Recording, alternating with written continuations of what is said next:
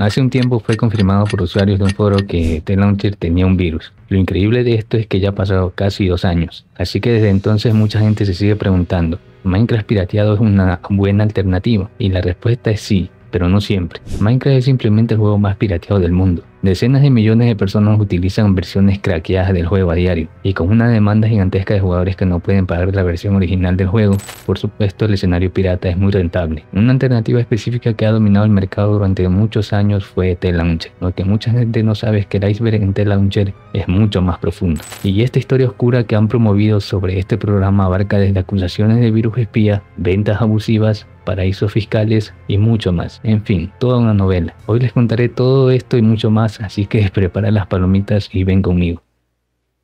La historia comienza en octubre de 2013 en Rusia con la creación de T-Launcher. El programa fue inspirado en el popular launcher pirata Ángel Caído, la interfaz más utilizada hace 10 años. Incluso hoy es muy nostálgico ver esto. Pero en fin, en ese momento había un sitio web ruso para mods y texturas llamado ruminecraft.org, quien acordó distribuir la descarga de este nuevo Minecraft pirateado. Al ser una web famosa en ese momento sería buena para Arthur, la persona que inició el proyecto de T-Launcher, ya que su idea sería llegar a más personas. La cuestión es que nadie era santo en ese sitio. Cuando iniciaba la instalación apareció una pantalla pidiéndote que aceptes personalizaciones automáticas, y no era específico de qué se trataba esto pero mirando más profundamente se descubrió que el archivo manipulaba tu navegador e incluso el propio Windows. Existe una lista enorme de sitios sobre Minecraft que si intentaras entrar en alguno de ellos, te harías redirigido automáticamente a roomminecraft.org. No pasó mucho tiempo antes de que este comportamiento sospechoso y tal vez fraudulento sufra sanciones de Yandex, que es básicamente Google pero para China o Rusia. En las primeras versiones de T-Launcher había un anuncio gigante en la cima,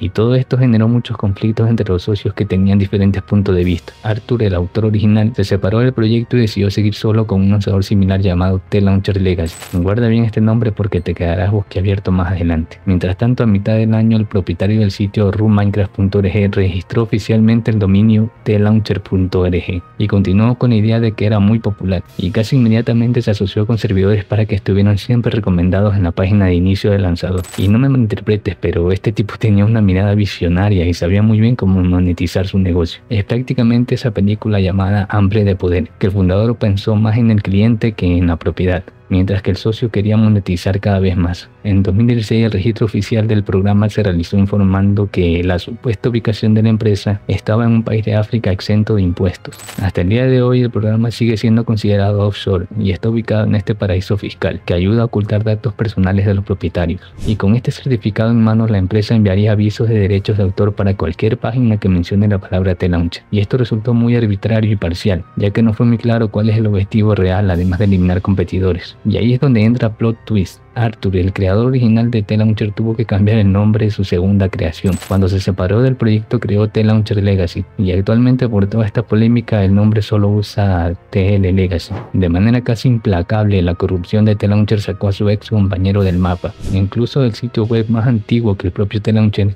ya tenía este nombre antes y estaba relacionado con Terraria pero también fue eliminado. Simplemente robaron el nombre también, y toda esta historia fue legalmente empujada debajo de la alfombra incluyendo incluso la Wayback Machine. Y este sitio es una máquina del tiempo que guarda sitios web antiguos para que puedas visitar y ver cómo eran antes. Pero en el caso de T-Launcher no hay nada. Es increíble como una empresa multimillonaria con tácticas cuestionables pasaron por alto a todos y lograron convertirse en su propia historia. Oye vaquero, pero tú antes defendías a T-Launcher, ¿por qué ahora sí dices que tienen cosas oscuras? Y no, nunca los defendí, te invito a ver mis videos. Siempre dije que era mejor mantenerse atentos, pero que ellos no estaban en la búsqueda de ver tus videos guardados ni tu historial de navegación más 18. Pero si tenías algo realmente importante como cuentas bancarias, por ejemplo, entonces sí debías preocuparte. Más adelante hablaremos un poquito más al respecto. Pero en fin, volviendo al tema, yo sé que a veces los villanos son geniales como yo, por ejemplo, pero este no es el caso. El asunto aquí es que ellos monetizaron el programa con suscripciones mensuales que permiten instalar funciones como skins HD, funciones específicas y capas personalizadas, así como también eliminación de anuncios. Lo que sucede es que estas son cosas que existen gratis en internet.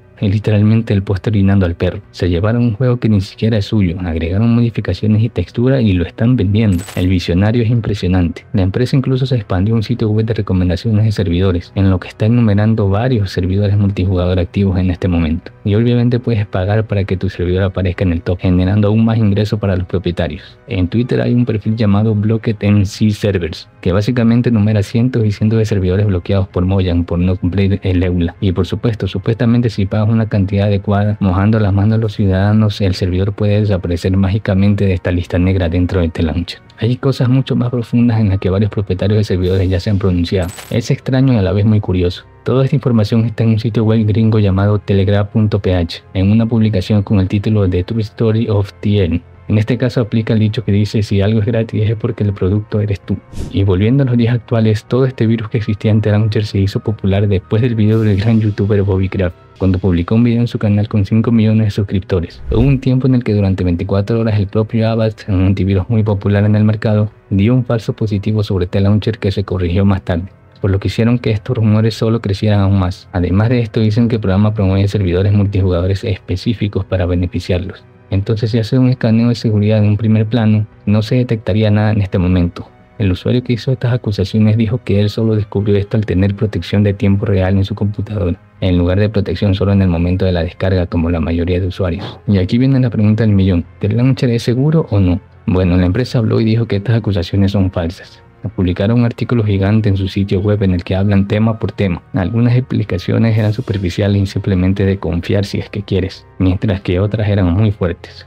Dejaron en claro que la gente que había encontrado algún virus habían descargado el programa de una fuente no confiable. Y de hecho hay mucha gente que hacen tutoriales en internet que modifican el programa original y dejan de descargar un archivo malicioso. Ahora, ¿recuerdas cuando dije que íbamos a hablar un poco sobre aquellos que decían que yo apoyé a T-Launcher? Bien, existen cientos de usuarios que llegaron de otro canal a insultarme y ofenderme cuando intenté generar calma. En fin, son gente aleatoria que les gusta vivir engañados y que le digan qué hacer. Pero lo que más me molestó no fue esa gente, sino aquel youtuber que se dedicó a generar pánico y no solo con T-Launcher en sus filas tenía todos los lanzadores piratas de Minecraft, como si él fuese una especie de justiciero de plástico. Quiero dejar en claro que tanto yo como otros youtubers pequeños y medianos nos dimos cuenta de que la farsa de este señor era muy grande y empezamos a ponerle un alto. Pero claro, ¿quién fue que comenzó todo esto? Pues fui yo. Y al parecer esto no le gustó y fue por mí. Y entre otras cosas me acusó de tener relaciones y ser parte de lo que él llamaba la red de polacos acusando a mí de recibir cohecho, o sea, sobornos, de hacer un video en su contra. Pero en fin, esos son temas personales que ya arreglaré como se tengan que arreglar. Todo este pequeño contexto sirve para que ustedes entiendan lo que viene a continuación. Un usuario de Discord que es tester del lanzador llamado SK Launcher decidió hacer todo un hilo o un pequeño blog desenmascarando todas las mentiras y exageraciones de este youtuber. Desde su comienzo aprovechándose del bug con el tema de T-Launcher, hasta el último video acusando a Launcher de ser lo peor y metiéndome a mí a colación. Te dejo este link en la descripción porque de verdad no tiene pérdida y creo que es mejor que lo leas tú a que yo te lo y para terminar solo voy a decir que fácil es manipular masas y embriagarse de poder cuando llegas a cierta cantidad de números. Lo difícil es aceptar que te equivocaste en cierta parte y lo llevaste a todo a un plano personal, involucrando personas que no tenían nada que ver para finalizar haciendo una historia de hackeo digna de un fanfic.